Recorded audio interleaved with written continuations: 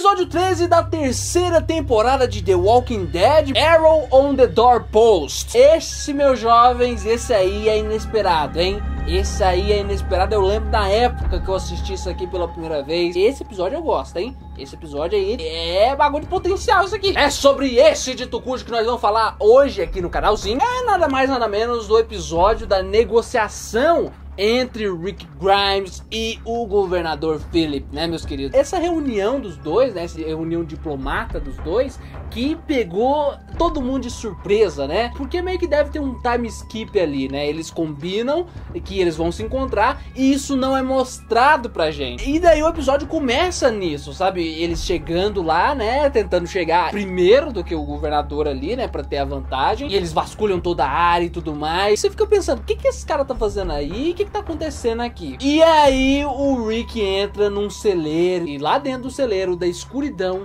sai o governador, meus jovens. E aí vem a abertura e você, meu Deus do céu, o que, que tá acontecendo aqui? O que, que eu perdi, meus jovens? O que, que eu perdi? Cara, esse núcleo aí do governador debatendo com o Rick a respeito das questões ali, a respeito do conflito ou do não conflito, eles tentando barganhar, é muito foda, cara. É fino do fino, cara. Você tem aqueles dois atorzão foda, o Andrew Lincoln e o David Morrison atuando, sabe, conversando. Cara, que decisão genial, cara. Que decisão genial. Que momento foda os dois conversando ali, as alfinetadas que um dá no outro e tudo mais. O Rick acusando ali, julgando o governador e o governador falando: pensei que você fosse policial e não advogado. E o Rick, bom, pelo menos eu não me auto-intitulo governador. Cara, maneiríssima ideia de colocar os dois ali para barganhar e tudo mais. Barganhar entre aspas, né? O Philip ele não quer ouvir proposta do Rick, coisa nenhuma, sabe? O Rick tem uma proposta que me parecia assim razoável, a proposta do Rick, sabe? Simplesmente foda-se um ao outro, sabe? Eles nem sabiam da existência um do outro. A gente faz fronteira e ninguém cruza de um lado pro outro, entendeu? E é isso, a gente não se vê, a gente não, não entra em conflito. Mas o Felipe, ele não quer, ele não quer negociar isso aí. Ele não quer negociar isso aí porque ele quer, ele tá de olho num prêmio. E aí ele leva a conversa inteira para falar a proposta dele, né? O que não é problema nenhum. Eu gosto do embate deles, eu gosto dessa conversa ser lenta e levar tempo. Cara, eu, eu ouviria um podcast do Rick conversando com o governador tentando barganhar, entendeu? Ouviria tranquilamente, seria inclusive muito interessante. E além disso, nesse episódio a gente tem umas outras aproximações muito interessantes, por exemplo, a aproximação do Milton com o Herschel, né? Eles começam a trocar informações ali. O Milton, ele é tipo o historiador do negócio, né? Ele tá registrando tudo e tudo mais. Seria bom se o Milton tivesse sobrevivido, hein?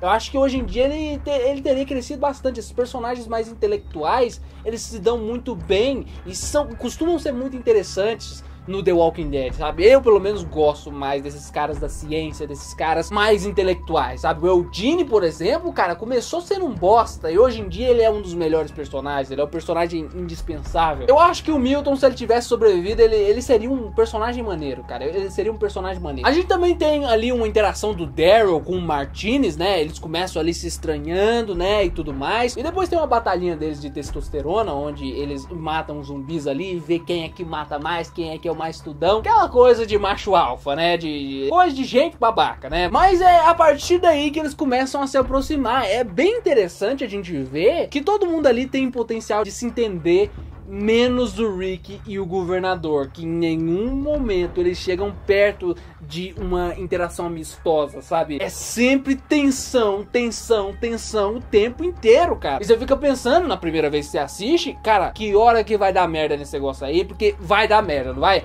Não vai dar merda? Que a tensão é muito braba, cara, porque os, os dois atorzão, cara, os dois atorzão foda ali, interagindo, texto maneiro, nossa, é foda demais. E não tem como, cara. O governador, ele tá meio que certo quando ele diz que uma hora ou outra ia dar merda esse negócio aí, viu? Porque a merda tá feita, cara. O governador fez merda já, o Rick fez merda já, já matou o povo do governador, o governador já matou o povo dele. Muitos atos de guerra já foram feitos naquela altura. Seria difícil barganhar e também é uma série de televisão, né? É uma série de televisão, tem que ter o espetáculo. Saídas como simplesmente propor a paz não funcionam em séries de TV, em shows de entretenimento. Mas a questão é que é muito interessante a gente ver esse paralelo, sabe?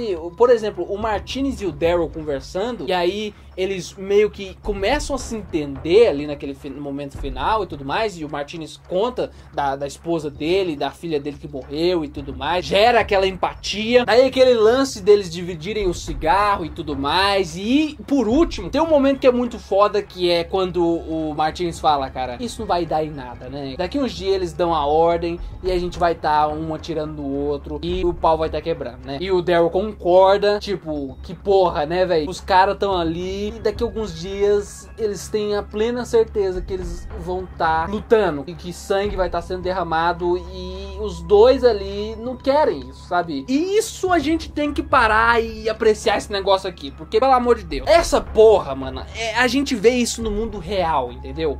Todos os dias a gente vê isso. Em todas as histórias das guerras, em todas as histórias políticas de conflito, da história do, do mundo é assim. A gente, as pessoas, o povo, no caso Daryl, no caso o Martinez, pessoas simples, pessoas de família, como o Martinez próprio cita a família dele, essas pessoas até conseguem achar ali uma maneira de conviver em paz. Eles, eles conseguem entender o ideal de paz as pessoas da ciência, como Milton e o Herschel, que ele, ele é um veterinário, mas ele pode ser considerado como um médico, como um cara da ciência também, pelos interesses que ele tem e tudo mais, por todo esse viés que ele tem de mentor. E a gente vê que esses caras também conseguem simplesmente, como o próprio Milton diz, parar de se alfinetar e simplesmente aprender um com o outro e até rir um com o outro, sabe? Ter um momento assim descontraído. Dá para ver exatamente para esses caras o caminho certo certo a se seguir, entendeu? Dá pra ver pela ótica desses caras que existe a possibilidade de se conviver em paz, de simplesmente esquecer as diferenças de ideologia, esquecer essas coisas que geram os conflitos e unir as forças em prol de um bem maior, sabe? Como conhecimento, como recursos ou o bem maior de todos, que é a paz, né, meus jovens? E enquanto isso, a gente tem os líderes, Rick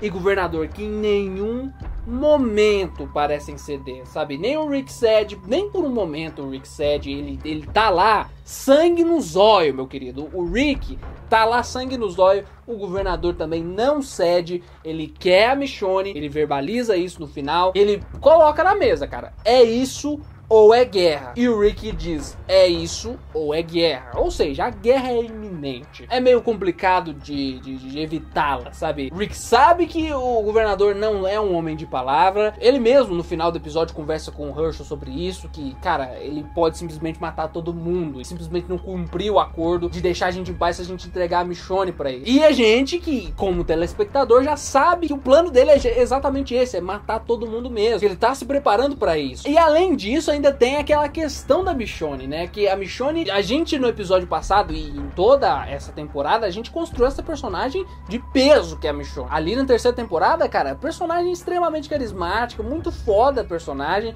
A gente não queria isso, a gente não queria ver o mal dela. Ela tava ali, cara. O Rick teria de escolher entre ela, que ele conheceu recentemente, ela salvou a vida de uma galera já, mas ele conheceu ela recentemente e a prisão inteira, cara. É uma decisão muito cabulosa, tanto que ele pede até a ajuda do Herschel para convencer ele do contrário. Enfim, a questão humana desse negócio aí, as rimas que isso faz com a nossa realidade são gr grandes demais, sabe? Grande, é muito verossímil isso que acontece aí nesse episódio. Parece que o episódio tá constantemente passando mensagens, sabe? É só uma pena que o diálogo do Rick e do governador fica sendo cortado toda hora, sabe? É toda hora eles param e vai mostrar outra coisa e relevante, que não é tão relevante assim, e aí fica meio truncado, sabe? Eu acho que se fosse um diálogo só, diretão assim, sabe? Se vocês pegassem ali metade do episódio só pra ter todas as cenas uma atrás da outra, eu acho que ia ficar bem mais interessante. Não ia quebrar a tensão, né? Não ia quebrar a tensão, porque acaba meio que quebrando a tensão depois de um tempo, sabe? Porque toda hora você quebra a cena, você quebra ali a atmosfera que você criou para construir outra. É pra você colocar numa metade do episódio é só essa cena e na outra metade desenvolver o resto. Acho que seria muito mais interessante interessante, viu? Em prol ali da tensão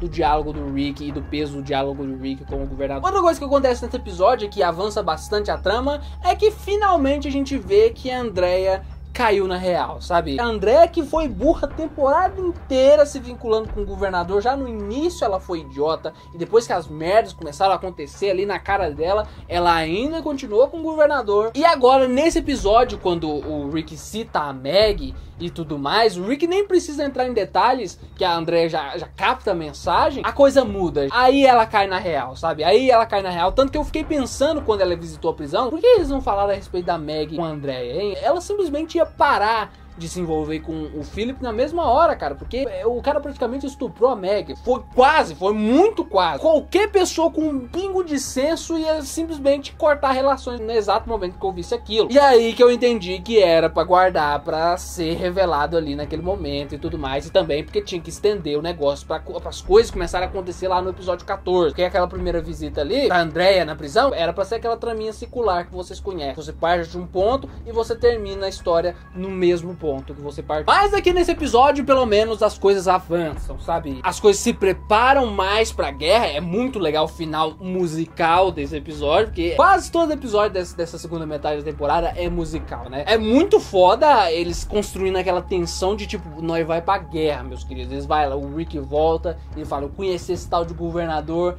e é guerra, meus consagrados. E aquela muscona massa. E aí a gente vê o governador voltando pra Woodbury, o, o Rick voltando pra prisão. E os takes meio espelhados. É muito foda. É muito foda. É por isso que essa série só aumentava de audiência mesmo com os episódios não acontecendo nada, sabe? Porque quando acontecia era foda, sabe? Era foda. A tensão criada, a atmosfera criada, sempre muito foda. E o que vocês acham a respeito desse episódio, meus queridos? Comente aqui embaixo. Vocês acham topíssimo esse embate? Parte ideológica ali, governador e Rick. Comente aqui embaixo, também deixa o like no vídeo caso você tenha gostado do mesmo, caso você goste desse episódio, caso você tenha gostado das minhas análises. Se inscreve no canal caso seja o primeiro vídeo que você esteja assistindo aqui, caso tenha caído aqui de paraquedas. Aqui nós cobrimos The Walking Dead como um todo, cara. Aqui nós tem análise desde o primeiro episódio da primeira temporada. Aqui nós estamos analisando os episódios antigos, aproveitando esse momento de, de incerteza da quarentena para relembrar esses episódios antigos, para vocês terem um entretenimento e todos nós seguirmos em frente, né, meus queridos? Muito obrigado por toda a audiência, pessoal. Muito obrigado por terem assistido até aqui, pelo apoio, pelo carinho. Ouçam Linha Regressa, o nosso audiodrama lá do The Geek Center, nosso canal secundário. História imersiva envolvendo dinossauros, sobrevivência. É, vai lá, dá, dá o voto de confiança, dá lá o voto de confiança. É, dá uma chance que se você ouvir metade do episódio, você vai ser conquistado. Você vai ser conquistado. Pelo menos muitos de vocês o serão. E já foram. Inclusive,